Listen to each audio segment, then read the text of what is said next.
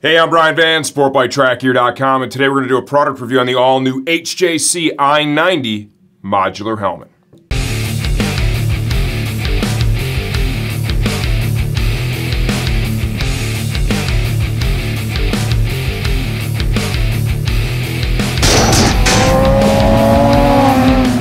The HJC i90 modular helmet retails from 188 to 215, depends on if you want a solid color or a graphic helmet. Please understand that we don't update the videos if pricing has changed, only if the helmet itself has been 100% redesigned.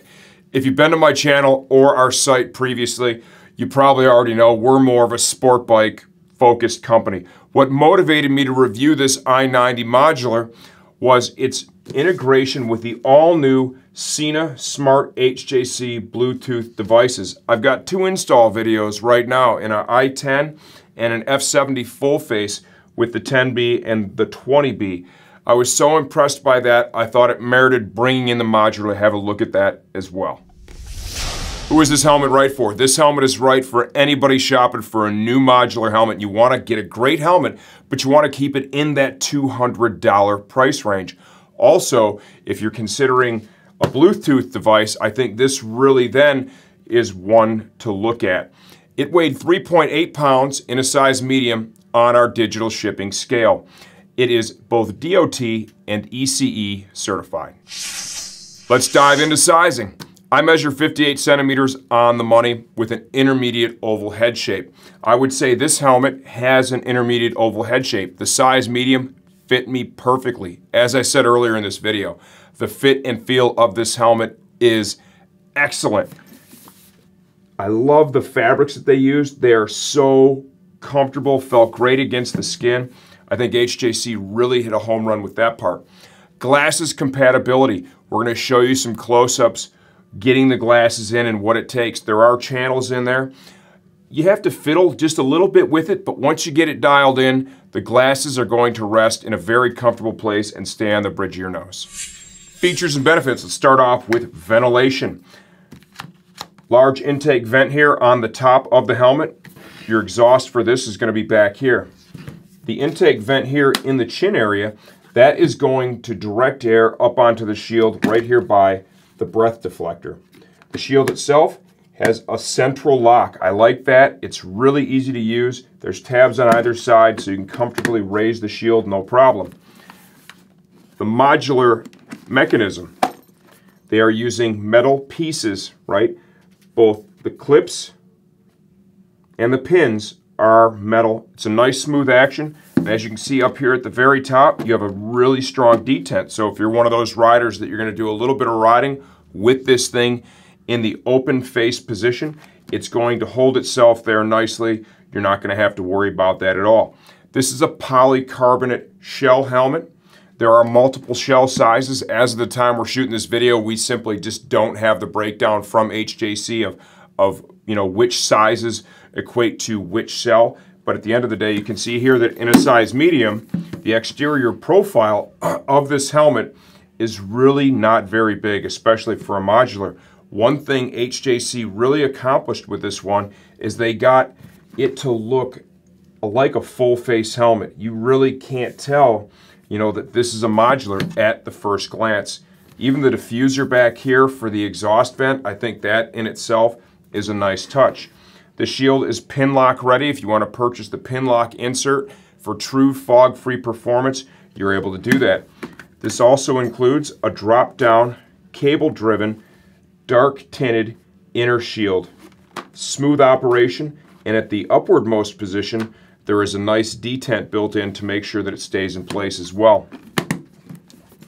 The interior of this helmet is excellent. It, it, it's super comfortable. The fabrics feel great. I'm going to rave about the fit one more time. There is a chin curtain that kind of velcros into place here. You know, if I'm to knock anything on this helmet, you know, I just don't love the velcro in chin curtains. At the end of the day, you slide it in there and sure, it gets its job done.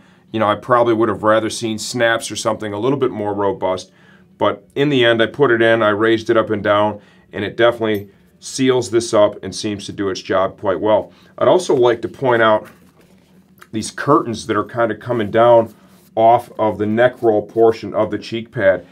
HJC went through some, you know, the process here of making sure that in this area that they're really sealing this up from the cheek pad area into the neck roll and the base of the neck. That helps to keep the helmet quiet. Once again, I'm not going to be road testing this one, so those of you who have purchased an i90, right, or will, once you ride in it, please take the time to leave in the comment section of this video what your experience with this helmet would be. That would certainly be helpful to other modular helmet riders out there in the future. We've got a double D-ring retention system, fully removable, washable, replaceable liner. Next up, I'm going to show you what it takes to disassemble the helmet and give you a closer look from the inside out. Okay, let's begin with the shield. To remove the shield, raise it all the way into the utmost position. I want you to grab this trigger here and you're going to pull down and then pull out on the shield. Repeat the process on the other side. Pull down on the trigger, pull out on the shield, off it comes. As I said earlier, this is a Pinlock prepared shield. It is designed to accept the Pinlock insert. You'll find those merchandised on our website. This is the HJ31 shield. To reinstall the shield, once again, put it into position like so, and you want to get it so that it's kind of mimicking that upwardmost position, and then just put a little pressure in towards the helmet. You'll find the shield's going to jump right into place. Before you go out and ride it, what I like to recommend Operate the shield a couple of times to make sure you have both sides clipped in just right. For the interior, anytime I'm going to service the interior of a helmet, whether it's going to be to install a Bluetooth device or to pull it out and wash it, I always like to remove the shield. It just helps reduce the possibility of you scratching the shield. Go ahead and raise the chin bar all the way in the upmost position. If you don't have this little helmet donut like I have here to service your stuff, just take a towel, lay it on the surface that you're working on. It'll help you prevent from scratching the helmet. To remove the cheek pads, you need to slide your fingers in between the EPS of the helmet and the backing of the cheek pad. There are three snaps. Put a little pressure in there. Each one of those snaps will be released. Now with this cheek pad, you want to grab it right about here, and I want you to pull back and out at the same time. And when you have it, you'll feel this jump out. You can kind of see the angle they have here on this. That's why you need to pull back just a little bit instead of just pulling straight out. Pull back, then out. Once you've done that, you can grab your chin strap, pull it through, pull this out. Let's take a look at this cheek pad. I have no idea what this zipper's here for, right? It needs to be in the open position so you can pass through the uh, chin straps. But when you have this in your hand, the fabric once again feels great. And you can really get a sense for the thickness they built in here to keep this helmet comfortable and to help make it more quiet. To remove the other cheek pad, it's just a mirror image of what you already did. Once again, kind of grab here, pull back. Might even help a little bit to just pull the chin strap through first. So pull back, and out like so. To remove the top pad, we got two snaps here at the back. Once you have those loose, come up here to the front.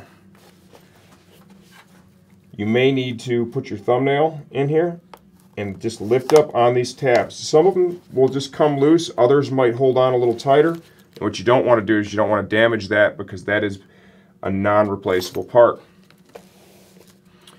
Here is the top pad. You can see the quality of the liner looks fantastic. HJC did a good job with that. Looking inside the helmet now, you can see the channeling they built into the EPS here. Your ventilation, two exhaust vents back here, two intake vents here. You know, at the end of the day, is this a, a massively ventilated helmet? No. Anytime you have something like a modular with a drop-down inner shield in it, you're unable to put ventilation up here in the brow area, so that does compromise the ventilation performance just a little bit, and that's kind of an understood thing with helmets that offer the drop-down inner screen, that you're just not going to get the same level of performance from the ventilation system. With that said, these have proven to be effective, and HJC has taken steps to help make up for the fact that you can't put holes here in the brow. If you see these channels right here that are run all the way down, what that allows to happen is when the air comes in here, it can move down in this area as well. Also, if you have an air coming in through the chin area up onto the shield, it can come up in here, get sucked out the back. It's as effective as it can possibly be.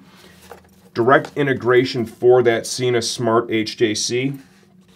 You'll see right here are the speaker pockets. Can you catch that, Caleb? Channeling for the wires. The unit itself installs back here. You remove that plate. For the mic, you use a boom mic on a modular. You're able to clip that in place. It holds itself in there nicely. I've already installed it. We're going to do one on camera too so you can have a look at it. And I really think that unit is a great complement to this helmet. Oh no, what do I think?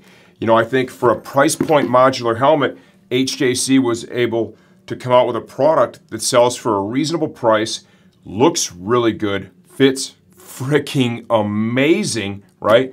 I believe this is absolutely worth the purchase price.